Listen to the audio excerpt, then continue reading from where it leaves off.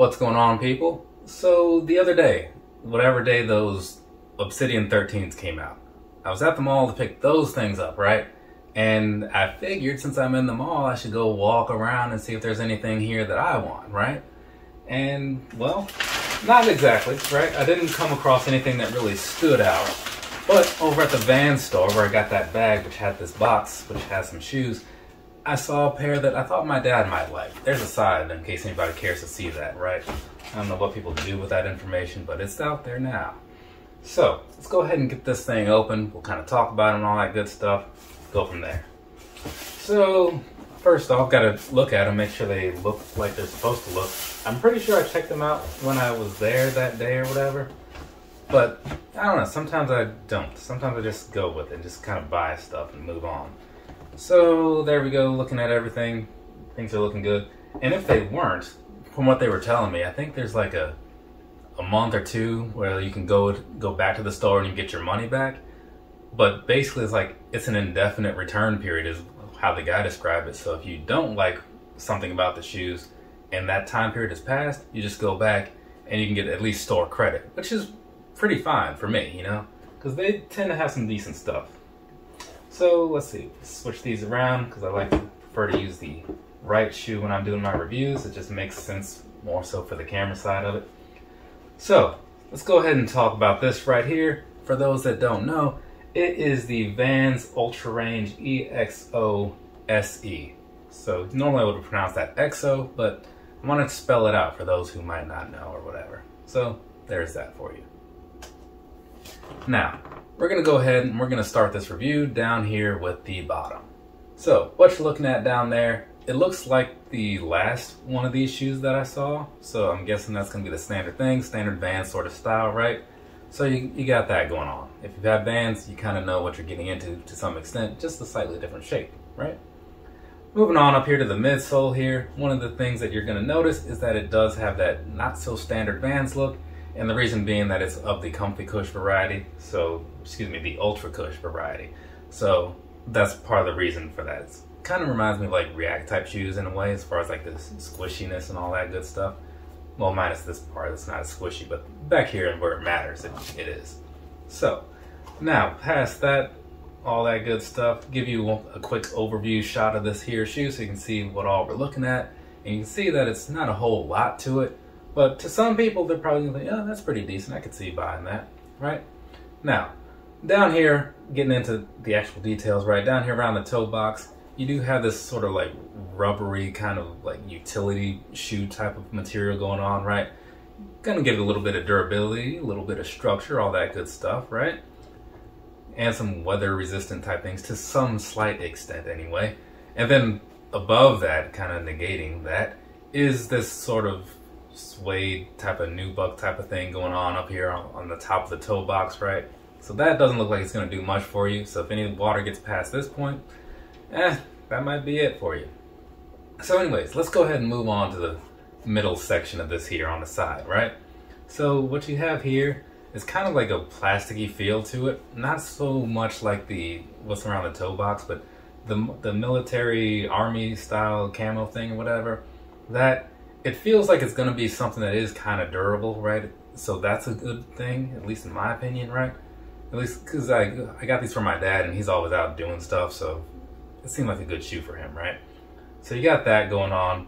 And then in the middle, you have that line. I forget, I think there's a term for that line. I just can't remember what it is. But it's kind of a similar thing you see on a lot of Vans shoes, right? Not all of them, but a lot of them. And then moving back to the back end of the shoe, the same thing that you had on the front, you have on the back, right? As far as that little piece of suede, whatever. Not amazing quality in case you were curious, right?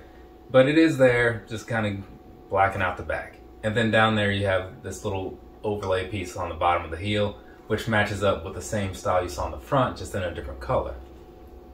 And also, while we're back there, right, across the back, you do have that Vans logo down there which this one is more just like a flat piece, which I do like a lot more than like the old standard Old Skools or whatever, because those, I just don't like the design of that particular logo with like the broken piece in the middle where it's just kind of overlaid over something. That's just silly to me. So anyways, also you have on the back, you have this little pull tab type thing says ultra range, right? So that's going to be that for you as far as the outside of the shoes. We'll switch around here. The laces, they're pretty much just your standard laces, right? I was looking to see if there's a, an extra pair or anything. It's not. It's just the black ones is all you get. And they are pretty much just your standard black flat laces, right? Very plain, very simple. And then outlining the lacing area, which I didn't really talk about much, it's going to be that same material that you saw in other parts of the shoe, right? With a slight little Vans piece on the side, letting you know what's going on. And then you can tell just a little bit if you catch it from the right angles. There is some perforations here on the tongue behind there. So that's always nice. Gives you that little extra bit of breathability and stuff because these shoes overall don't seem like they'll be the most breathable. But I don't want to say that they'll be a problem necessarily. Just something to consider, right? I feel like my my pair kind of was, but it's been so long since I wore them, you know? So that's about it for the outside for the most part. Finishing things off at the very top of the tongue, you do have Vans Ultra Range up there and another one of those pull tabs. No pull, no words on the pull tab this time. So let's go ahead and jump onto the inside, right? Get things knocked out. So down in there, that's what I was talking about earlier with the whole Ultra Cush. I'm not sure what the difference is between Ultra Cush and Comfy Cush, but I'm inclined to say that Ultra Cush has to be better, right? How much better? I don't know. That's a question for Vans or people who buy more of them than I do. Otherwise, just your standard insole, right? And then on the back end, then all that good stuff. Again, quality of these materials, nothing amazing, but it's it's fine for what it costs. I want to say the retail was like a hundred dollars or something like that. Sounds right. I could look at the receipt, but the receipt's down on the floor and I'm not picking it up. So there's that for you. I think we've covered everything there really is to talk about with these. So I'll hit you with some personal thoughts and then also some sizing will be mixed into there towards the end or whatever. Because I'm not going to do an actual on foot since this isn't for me. Now, this right here, right? I do like the pair that I bought. I think they're, I want to say I felt that they were very comfortable. I can't speak too much on that, but if you want more of an in-depth review of that, watch the end of the video that I actually did on my pair and that'll let you know what the comfort is like and all that good stuff. But as far as like the shoe, the visual and all that, it's not for me because I'm not a camo guy. I just can't stand it, you know? But for my dad, who this shoe is for, he's gonna be pretty into these because he's all about that, right? And he does like these comfortable shoes that I buy him, so he'll wear these, go out, do whatever daily adventures he chooses to get into, and be fine. So it doesn't matter that I don't like them because they're just not for me, you know? But I, I at least like what I know of this particular model. So I'd, I'd suggest it to other people that are considering getting a pair. And as far as like the sizing goes, again, I can't quite recall much of the pair that I have because it was so long ago that I wore them. But I do remember going true to size.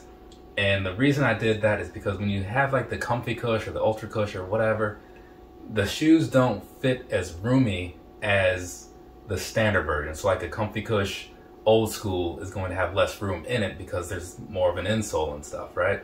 So these, he's normally like a size 10. These are a 10 and a half, but given that it should be fine for him, you know? If not, like some thicker socks will cover that. So maybe, I think I have some socks. Maybe I'll send him some socks with these or something. But I think that's about it. I feel like I've talked enough to get all the pictures through and covered whatever it is I needed to cover. So we're good from here.